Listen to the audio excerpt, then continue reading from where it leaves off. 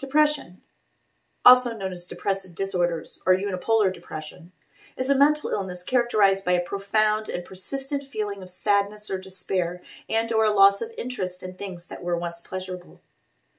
Disturbance in sleep, appetite, and mental processes are a common accompaniment. Everyone experiences feelings of unhappiness and sadness occasionally.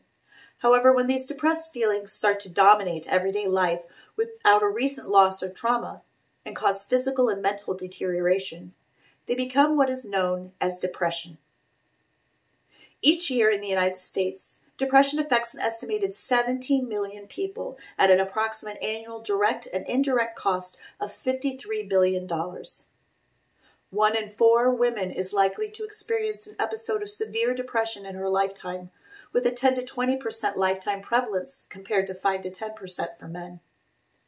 The average age a first depressive episode occurs is in the mid 20s, although the disorder strikes all age groups indiscriminately, from children to the elderly.